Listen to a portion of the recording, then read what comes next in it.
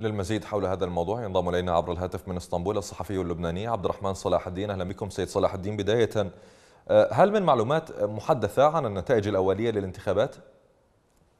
زال هناك بعض الدوائر في إطار الفرز والحسابات لكن على العموم يعني ال ال ال الإطار العام بات معروفا. تيار المستقبل شهد تراجعا كبيرا في عدد نوابه. هنا لديه تراجع بحدود من 14 إلى 18 نائب خسرهم يعني هو انخفض عدد تمثيله من 38 نائبا إلى ربما 20 أو 24 نائب.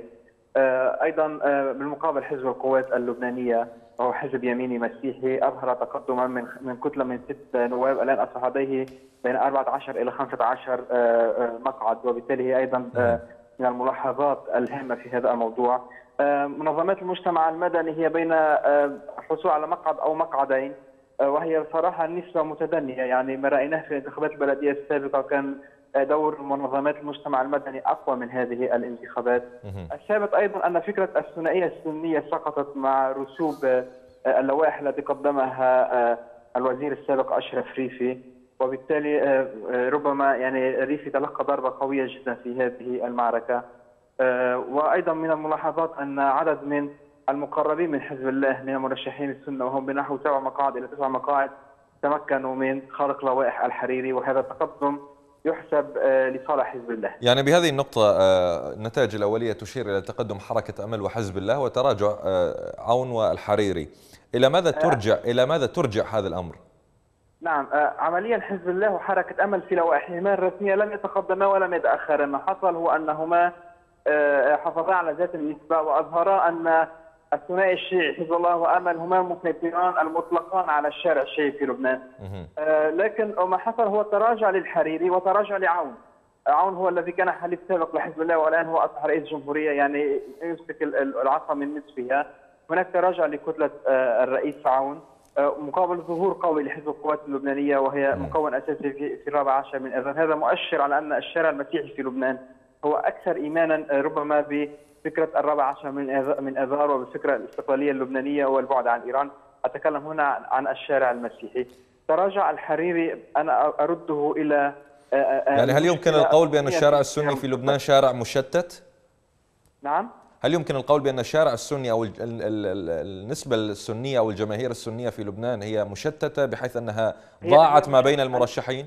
أنا بتقديري أنها هي مشتتة وأكثر من ذلك أظهرت نوع من اليأس. نحن عندنا نرى أن لهذه المرة الدوائر السنية نسبة الأقبال فيها كانت أقل من حتى من الدوائر المسيحية. وهذا يدل على أن فعلا أن هناك ضعف في الأقبال. هذه رسالة كبيرة جدا. وأيضا كان هناك خسارة أساسية لتيار المستقبل لماذا لماذا نرى هذا الضعف؟ يعني لماذا الآن تشهد على الرغم أنها أول انتخابات منذ تسع سنوات أو منذ الانتخابات السابقة عفوا ويعني شيء جديد ربما بالنسبة للبنانيين بهذا الشكل بقانون انتخابات جديد كذلك. صحيح، بداية القانون الانتخابي كان مفترض أن يرفع نسبة الإقبال لكنها أدت إلى تدني، نعرف أن النسبية ترفع نسبة الإقبال لا, تخففها، لكن هذا الأمر مستغرب، الأمر الثاني بالنسبة للطائفة السنية أنا بتقديري أن تيار المستقبل كاكبر وجود سني علاقته مع الأفرقاء السنيين الآخرين لم تكن سوية. وبدل أن تكون ربما علاقة تصالح كانت هي علاقة تخاصم. فكان هذا على حساب الدور السني وعلى الأصوات السنية اللي يتمكن يجد حزب الله مدخلا نعم. في عدد من الدوائر اشهرها في البقاع الغربي والأهم من البقاع الغربي هو في دائرة بيروت الثانية المعقل الأساسي لتيار المستقبل مني فيها بهزيمة محقة حصل فقط على ما بين أربع إلى خمس مقاعد من أصل 11 مقعدا. في الانتخابات السابقة كان تيار المستقبل يحصل على 10 مقاعد من أصل 11 مقعدا. هذه يعني هذه عمليا يدل على أن تضعضع الوضع السني. المسألة ليست انتخابية بحتة بقدر ما هي مسألة في الداخل نعم. السني وفي إدارة تيار المستقبل لعلاقاته مع الأفرقاء وفي الخطاب السياسي لتيار المستقبل. هنا تكمن المشكلة برأيي. سيد عبد الرحمن صلاح الدين الصحفي اللبناني كنت معنا عبر الهاتف من إسطنبول. شكرا جزيلا لك.